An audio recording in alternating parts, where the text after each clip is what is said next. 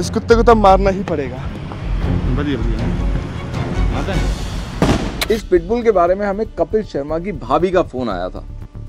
उन्होंने बताया कि इसको किसी ने सड़क पे छोड़ दिया है और लोग इसको यहाँ से वहाँ भगा रहे हैं। पर ये कॉल जिस जगह से आई थी अम वो एक तो हमारे फार्म से ढाई घंटे दूर है और दूसरा हमारे पास फार्म पे कोई भी एनिमल रखने की जगह नहीं बची थी।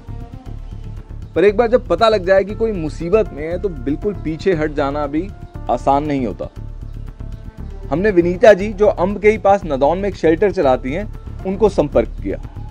पर जब दो बारी प्रयास करने के बाद भी पिटबुल उनके हाथ नहीं आया तो हमने ये फैसला लिया कि हम जाके रेस्क्यू करेंगे और विनीता जी उसको रखेंगी।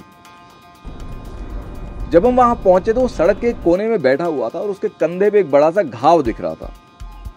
हम धीरे धीरे उसके पास गए और हमने उसके सामने कुछ ट्रीट्स रखी।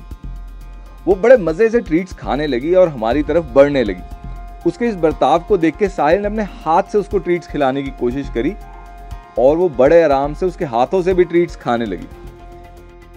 ये देख के सब निश्चिंत हो गए कि भाई ये तो बड़े आराम से पकड़ी जाएगी और रविंदर ने गाड़ी से केज भी निकाल लिया। पर यहीं पे हम चूक गए थे।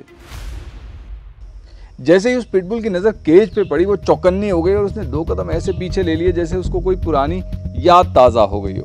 और अब हमारी लाख कोशिशों के बाद भी वो हमारे पास नहीं आ रही थी। लग गया इसको पता।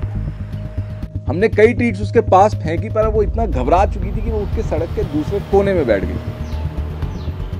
लेकिन हालात बहुत अजीब से हो गए थे। एक तरफ़ तो वो डर के हमारे पास नहीं आ रही थी पर दूसरी तरफ़ वो हमसे डर के भाग भी नहीं रही थी। यहाँ तक कि वो पूरे समय हमारी आँखों में आँखें मिला के बैठी रही। हम जब सड़क पार करके उस तरफ़ जाते थे तो वो सड़क पार करके इस तरफ़ आ जाती थी। जब कुछ देर तक यही खेल चलता रहा तो हम परेशान होकर अपनी वैन में बैठ गए कि क्या किया जाए। वो भी दूर जाके कंस्ट्रक्शन साइट के अंदर बैठ गई और हम पे नज़र रखने लगी कि आखिर अब ये क्या करेंगे। ये वो ट्राई लेते हैं बैठी है। हमने फिर गाड़ी वहीं जाके लगाई जहाँ पे वो बैठी थी और पीछे से नेट डालने के लिए कूदे पर वो काफ़ी तेज़ी से उछली और वहाँ से भाग गई। वो भागी भी बहुत दूर नहीं बस सड़क के दूसरे कोने में जाके बैठ गई। हमने सोचा कि अगर हम वैन उसके पास अचानक से जाके रोके और उसके ऊपर नेट डाल दें तो शायद वो जल्दबाजी में समझ ना पाए कि उसके साथ क्या हो रहा है। पर गाड़ी उसके पास रोकते ही वो वहाँ से फिर भाग गई। इस चूहे बिल्ली के खेल में दो घंटे बीत चुके थे।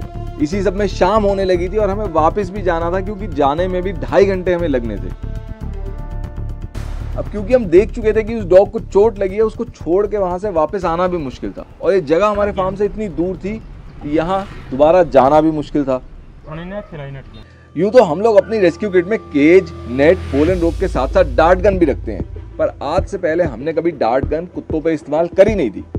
एक तो कुत्ते बैलों के मुकाबले ज़्यादा फुर्तीले होते हैं और दूसरा डार्ट गलत जगह लग जाए तो कुत्ते पैरालाइज भी हो सकते हैं। पर ये रिस्क लेने के अलावा इसको पकड़ने का अब हमारे पास कोई चारा भी नहीं था। हम निशाना दूर से नहीं लगाना चाहते थे, इसलिए ट्रीट्स डाल के हमने उसको अपने पास लाने की कोशिश करी। उसके आगे बढ़ते ही हमने अपनी पोजीशन ले ली। जब हमें लगा कि उसका पूरा ध्यान अब ट्रीट्स पे है तो हमने अपना निशाना साधा, पर गन को देखते ही वो डर के पीछे हट गई। साहिल ने भी दो कदम पीछे ले लिए। अब जब उसका सारा ध्यान फिर से ट्रीट्स पे गया तो रविंदर ने इशारा किया और साहिल धीरे से आगे बढ़ा।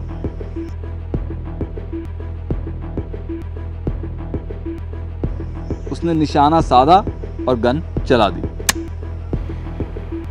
डार्ट शरीर पे लगते ही वो बहुत तेज़ी से भागी। डार्ट उसके शरीर से निकल के गिर गया पर बेहोशी की दवाई उसके शरीर के अंदर जा चुकी थी।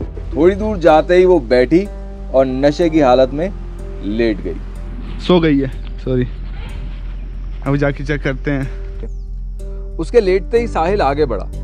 अभी भी उसको पक्का नहीं था कि हमारा डार्ट उसको पूरी तरह बेहोश कर भी पाया है या नहीं। इसीलिए वो धीरे धीरे उसके पास जा रहा था। जब साहिल को कोई हलचल नहीं दिखी तो साहिल ने उस पर नेट डाल दिया। ले डंडा ले डंडा। पर वो अभी भी थोड़ा होश में थी क्योंकि जैसे ही साहिल ने उस पर नेट डाला वो उठ खड़ी हुई। पर अंत में उसने हार मान ही ली। उसकी आँखों में एक शिकन एक शिकायत सी थी। ज़ाहिर सी बात है उसे थोड़ा ही पता था कि हम उसे मारने या कहीं फेंक देने के लिए नहीं बल्कि उसकी मदद करने के लिए उसको पकड़ रहे हैं।